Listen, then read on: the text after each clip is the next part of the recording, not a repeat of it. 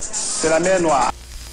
La mer de nuages, un phénomène qui fascine depuis tout temps, parfois assez méconnu des planants, ceci dit, et qui a d'ailleurs inspiré plusieurs artistes, notamment en 1818 Caspar David Friedrich, un peintre allemand, enfin plutôt prussien puis saxon, parce qu'à l'époque l'Allemagne c'était... un bordel avec son œuvre Der Wanderer über dem Nebelmeer, littéralement le voyageur au-dessus de la mer de nuages. Profitez bien les gars là-haut parce qu'en dessous c'est assez euh, monochrome et monotone. Hein. Tout comme la mer, une mer de nuages c'est bel et bien de l'eau, mais cette fois-ci sous forme de micro-gouttelettes. Bien souvent des stratus, plus rarement des stratocumulus, ce sont donc, comme l'indique leur étymologie, des nuages étendus, stratiformes, à extension horizontale et non verticale, surplombés de... Rien de particulier, mais... Surplombés de rien de spécial, de soleil ou alors vraiment de nuages de haute altitude qui ne gênent en rien l'observation humaine de la dite mer de nuages depuis un point la surplombant.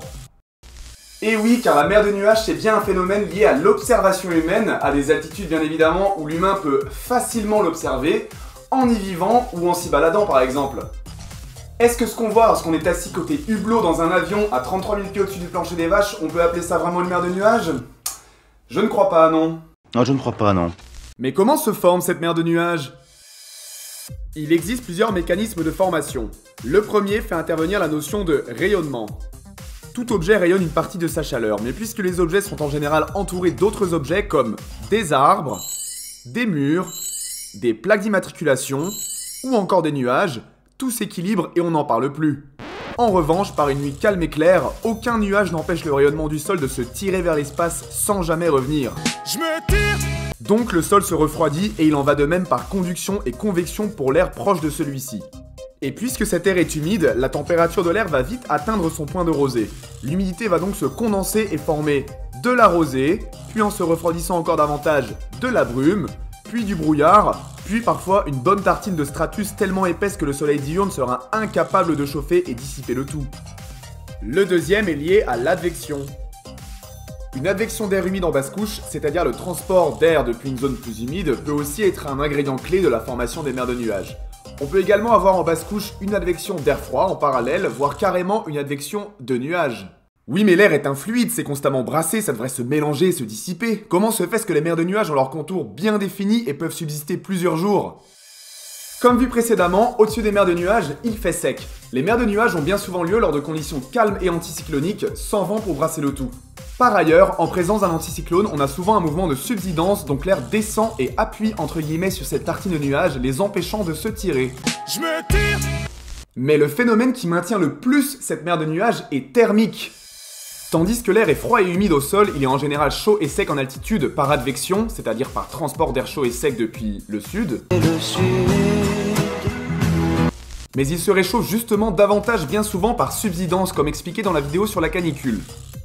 Ainsi, si on reprend le petit graphique que vous avez déjà vu dans la vidéo sur la foudre qui combine température et altitude, et qu'on se penche sur la journée du 20 novembre 2021 autour du massif vosgien, on a 5,7 degrés à Strasbourg à 150 mètres d'altitude, 5 à Colmar, encore un peu plus frais en prenant de la hauteur avec 3,5 degrés aux 3 épis à 660 mètres, et 14,7 degrés à Vagney à 805 mètres d'altitude, et plus de 15 degrés au Champ du Feu et au Lac Blanc à plus de 1000 mètres d'altitude et 13,7 degrés au sommet du ballon de Servance, soit un énorme gradient thermique vertical cette fois-ci positif aux alentours de 700 mètres d'altitude. Avec une telle configuration, impossible pour une molécule d'air des basses couches de monter, puisque si l'envie lui prenait de monter, elle se refroidirait selon la diabatique et donc se retrouverait plus froide immédiatement que son environnement, et donc plus dense que son environnement. Donc à l'image d'une montgolfière inversée, merci Archimède, elle redescendrait de là où elle est venue, donc sous les 700 mètres d'altitude. On a donc un couvercle thermique très difficile à percer. Il faut attendre soit l'arrivée de vent, soit l'arrivée d'une advection d'air chaud en surface ou d'air froid en altitude pour brasser et dissiper la mer de nuages. Il y a, y a un magnifique arc blanc, non? Que dis-je? Un spectre de Brocken. C'est excellent ça. Ouais, mais là ça fait déjà beaucoup d'informations, donc on verra ça dans une vidéo dédiée par exemple à toutes sortes de phénomènes optiques liés de près ou de loin à l'atmosphère, donc euh, dites-le moi en commentaire si ça vous intéresse.